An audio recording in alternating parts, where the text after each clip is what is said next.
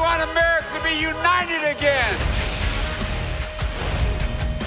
Everything is on the line. The question is what happens now?